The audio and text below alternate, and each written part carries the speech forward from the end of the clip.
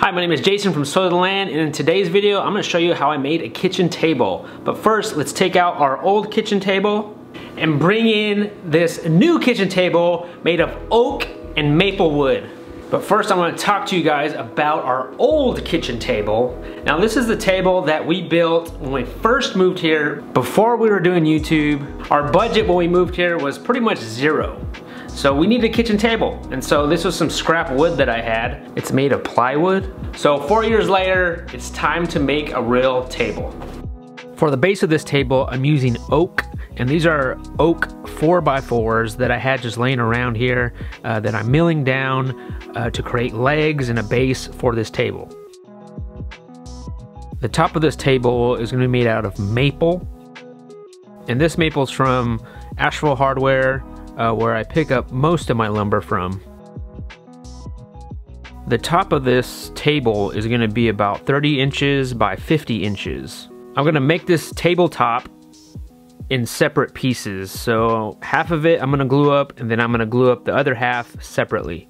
And then after both of them are glued and dried, I'm going to join the two together in the middle uh, to create the tabletop.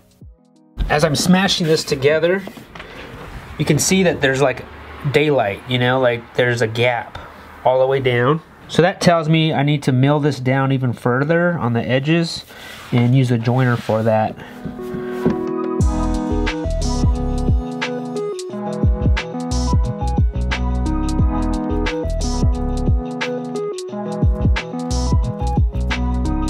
Now I'm just using glue and clamps to put this together. You can use dowels, but I'll show you what I'm using later on in the video.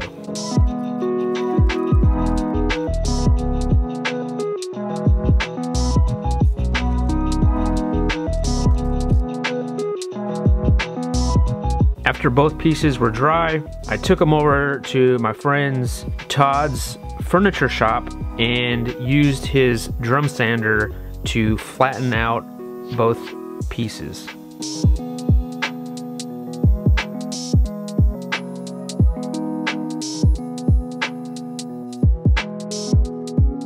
After sanding both pieces down, I needed to join the two pieces together and Todd and the Atomic crew, they gave me a little crash course on this Festool domino.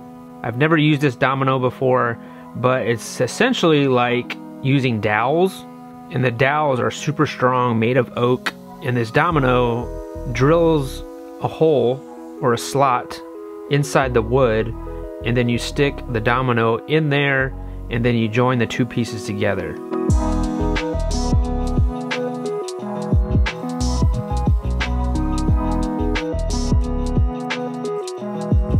After I dominoed all the slots, I glued it up and clamped the two pieces together.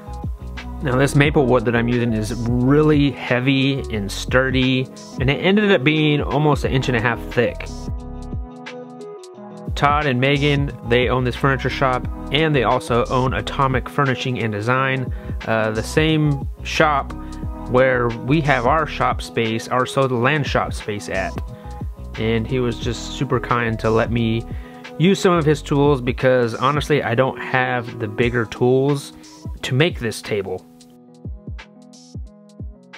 Now after it was all glued together, I needed to sand some more. And so I stuck it on the sander again and this sander is open-ended. As I'm pushing it through the drum sander, I can flip it over and do the other side to create a flat surface.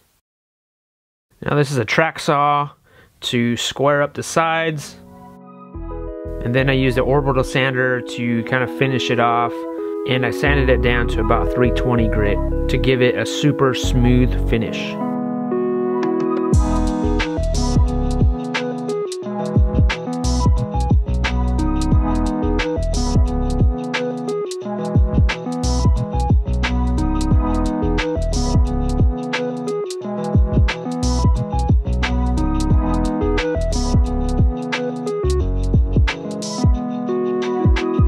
For the legs and base of this table, I'm using the domino tool, and by using this tool, I should not have to use any screws. And here's Todd helping me out with it, making sure everything's lined up.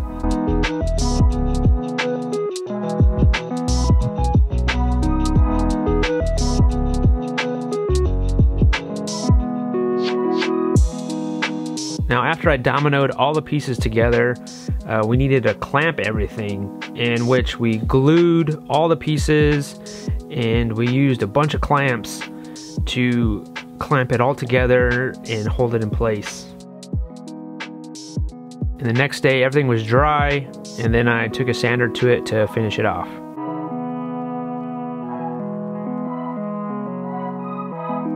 Woo! All right, that's been a beast of a build so far. Uh, we're almost done with it. Uh, now we gotta take it home.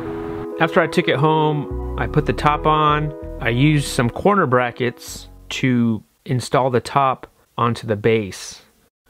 Now because this is a kitchen table, we wanted the top surface to be as natural finish as possible. I decided to use this Rubio Monocoat, which I've used before, and it's just really easy to put on. It's an all natural oil. I'll leave a link down to this finish I used down in the show notes.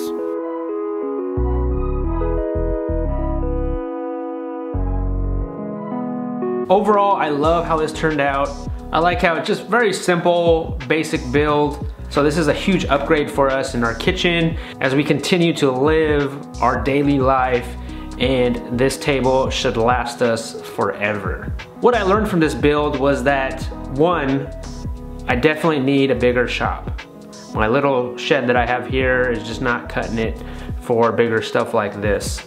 I also learned how to use a new tool which is a Festool Domino, which I've always wanted to use one of those. So huge thank you to Todd and the Atomic Furnishing crew for uh, helping me out with that. And I'll leave a link down in the show notes of the Atomic Furnishing website so you guys can check out all the furniture that they're doing. But this is something that I've been wanting to do for the last four years. Finally getting it done. But I appreciate you guys watching and uh, we'll see you guys next time.